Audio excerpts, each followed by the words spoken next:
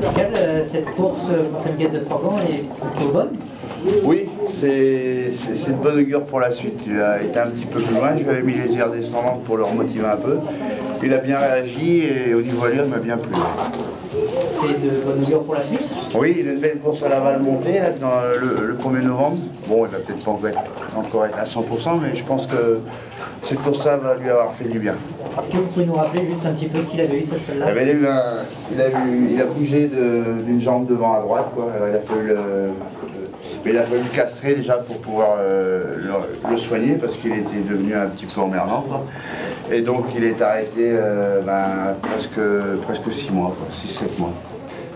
Là maintenant, il est proche des 100% ou pas encore Non, il n'est pas proche des 100%, mais bon, euh, s'il retrouve déjà tous les moyens qu'il avait avant de faire le pont, je pense que ce sera pas mal. Là, ce soir, euh, finalement, est-ce qu'il remplit son objectif? Oui, ouais, ouais, il m'a bien plu. Il m'a bien plu. Maintenant, euh, je demande à voir. Et puis bon, touchons du bois qui, qui lui arrive rien d'autre.